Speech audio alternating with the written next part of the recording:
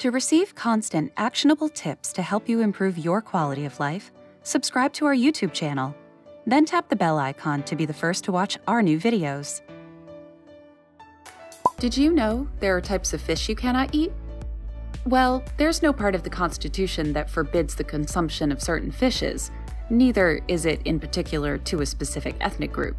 It is simply because they contain hazardous compounds that are very dangerous to the human body. Let's face it, everything good thing always has a bad side you might not know about. We all know fish are both delicious and healthy. However, there is some type of fishes that would do you more harm than good when you eat them. Want to know what fishes in particular? Keep watching as we take you through the list of five fishes you really shouldn't eat. Imported catfish. Catfish are commonly known to always grow in a considerable size. This, however, requires a lot of patience. Fish farmers who don't have that much patience will do anything for their fishes to get to an acceptable size, like feeding them hormones. You see, a free grown catfish is more nutritional and less dangerous than a hormone fed fish. But a bigger fish means more money. So you might want to ask where the catfish is from before ordering two portions. Mackerel. Mackerel often contains a substance called mercury. While mercury is an essential ingredient, the human body system is unable to completely absorb it. Although the body eliminates waste products, mercury is difficult.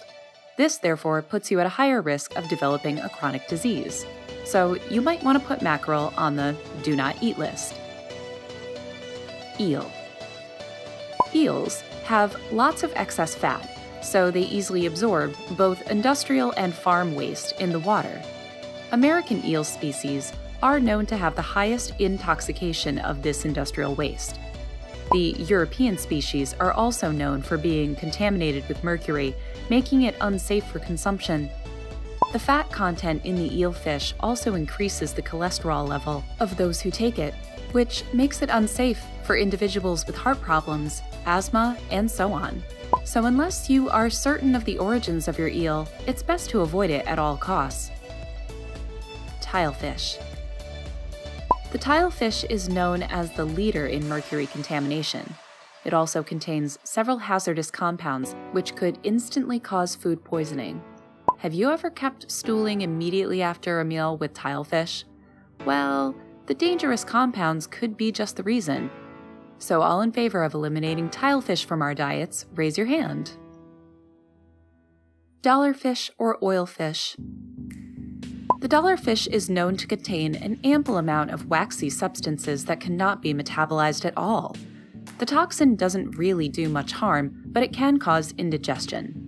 Therefore, this fish is not advised, especially for those who have digestion problems. For the dollarfish, you don't necessarily have to include it on the do not eat list, but you might want to control your intake of this species. If you know of any weird facts about fish, don't forget to let us know in the comments down below. If you liked this video, give it a big thumbs up, and don't forget to share it with your friends. For more hacks and advice on living a purposeful life, subscribe to our YouTube channel. See you next time.